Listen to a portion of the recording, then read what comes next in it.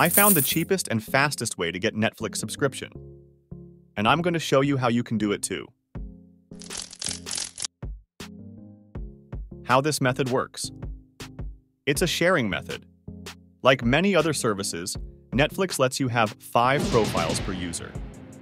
What I used to do for buying services like this, or Spotify Express VPN, was asking four more friends who wanted the same thing, and I would share the account with them. Instead of paying $15 per month for a VPN, I would just pay $3 per month. But what about Netflix, Disney Plus, Spotify, and other services? You can do it for them, but if you use the method I show you, you don't need to worry about finding friends. This can be fixed easily by using Gamsgo. They do all the things in the background with a 24-7 support team.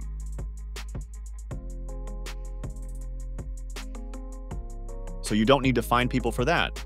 There's also a promo code that I give you now.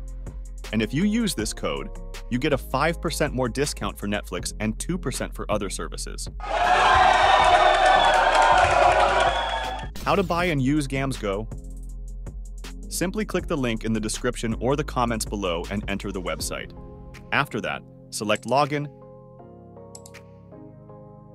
enter your email, and wait for the verification code.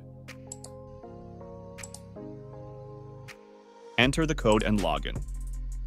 Now I choose Netflix for one screen, of course, and you save 46%.